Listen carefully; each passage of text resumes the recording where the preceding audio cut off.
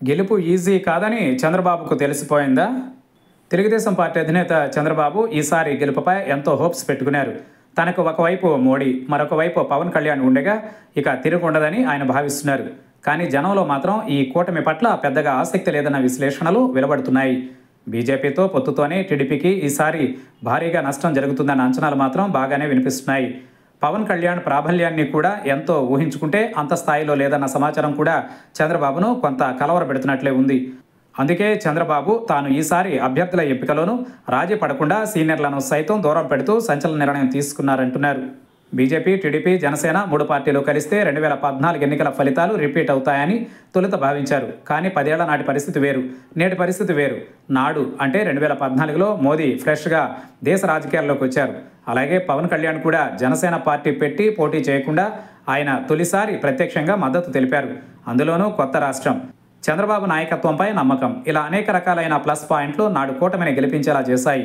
కానీ అత్యధిక స్థానాల్లో మాత్రం గెలవలేకపోయింది. రెండు వేల పద్నాలుగులోనూ అరవైకి పైగా స్థానాల్లో వైసీపీ విజయం సాధించిందంటే పెద్ద విజయం కాదనే చెప్పాలి. ఇప్పుడు సీన్ రివర్స్ అయిందంటున్నారు. మోదీని పదేళ్ళ పాటు ప్రధానమంత్రిగా చూశారు. ఆయనపై ఉత్తర భారతదేశంలో పాజిటివ్ లుక్ ఉండవచ్చేమో కానీ దక్షిణ భారతదేశంలో మాత్రం నెగిటివ్ను బాగానే మూటగట్టుకున్నారు. ప్రధానంగా మోదీ ఏపీకి అన్యాయం చేస్తారన్న అభిప్రాయం అధిక శాతం మంది ప్రజల్లో ఉంది. ప్రత్యేక హోదా ఇవ్వకపోవడం విశాఖ స్టీల్ ప్లాంట్ను ప్రైవేటీకరించాలన్న నిర్ణయం విశాఖ రైల్వే జోన్ను ఏర్పాటు చేయకపోవడం వంటి కారణాలతో పాటు ముస్లిం క్రిస్టియన్ ఓటర్లలో చాలా వరకు ఆ పార్టీపై వ్యతిరేకత కనపడుతోంది. ఈ కారణాలతో చంద్రబాబుకు బీజేపీతో పొత్తు వల్ల కలిసి వచ్చేది లేకపోగా ఉన్న ఓట్లు పోయే అవకాశాలు స్పష్టంగా చంద్రబాబుకు కనుచూపు మేరలోనే కనిపిస్తున్నాయి. జనసేన అధినేత పవన్ కళ్యాణ్పై కూడా చంద్రబాబు భారీగా ఆశలు పెట్టుకున్నారు.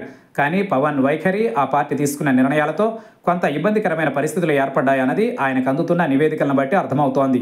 ఉభయ గోదావరి జిల్లాలలో తాము ఆశించిన స్థాయిలో స్థానాలు వస్తాయన్న నమ్మకం కూడా ఇప్పుడు లేదంటున్నారు. కాపు సామాజిక వర్గం నుంచి కూడా పూర్తి స్థాయిలో మద్దతు కనిపించకపోవడంతో పవన్తో పొత్తు వల్ల ప్రత్యేకంగా ఉపయోగం లేకపోయినా చంద్రబాబుకు మాత్రం నష్టం లేదని మాత్రం తెలుసు. ఎంతో కొంత ఓట్లు యాడ్ అవుతాయి కాబట్టి పవన్తో పొత్తు ఓకే కానీ బీజేపీతో పొత్తు వల్ల తాము ఈసారి జగన్ ఎదుర్కొనడానికి ఇబ్బందులు పడాల్సి వస్తుందని కూడా ఆయన సన్నిహితుల వద్ద వ్యాఖ్యానిస్తున్నట్లు తెలిసింది.